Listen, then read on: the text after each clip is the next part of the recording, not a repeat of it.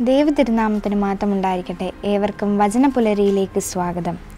വിശുദ്ധ യോഹന്നാൻ എഴുതിയ സുവിശേഷം രണ്ടാം അധ്യായം നാലാം വാക്യം.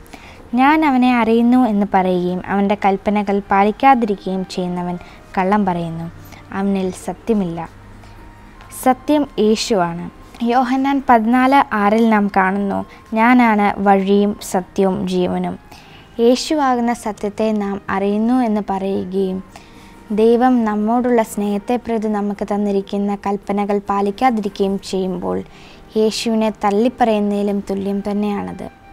കൽപ്പന പാലിച്ചുകൊണ്ട് ദൈവവചനം പാലിച്ചുകൊണ്ട് നാം ഓരോരുത്തരും ജീവിക്കുമ്പോൾ ദൈവസ്നേഹത്തിൽ നാം പൂർണത പ്രാപിക്കുന്നു.